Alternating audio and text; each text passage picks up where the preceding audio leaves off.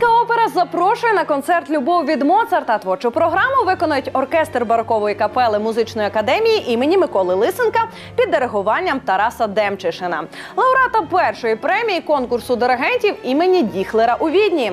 З 2014-го головного диригента і засновника оркестру Бетовен Сінфонетта в Японії та вже понад 10 років соліста-кларнетиста симфонічного оркестру Кющу.